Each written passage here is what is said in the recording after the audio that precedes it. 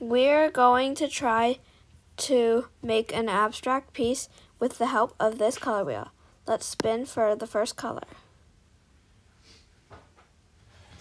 Blue. So let's go.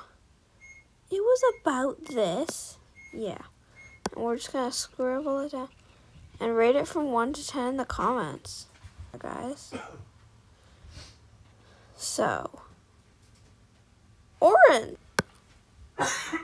It was about this orange. If you hear coughing in the background too, uh, it's my parents. Okay, it's gonna be lines. We got purple. We can work with that. We can work with that. Lines. Oh, I did not like that. Oh, this is looking good so far, guys. I'm gonna do some of this, this, this. Next color, I'm gonna do two more after this. Red! So we're gonna do circles.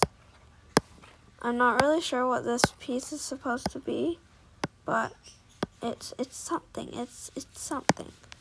Second last color.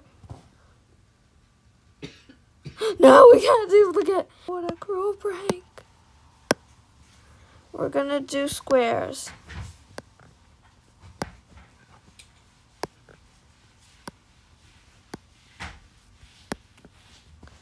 Okay. Oh, okay, there we go. This be something different, like green. Yellow! So let's do this.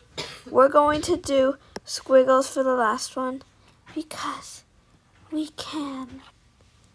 And no one is stopping us.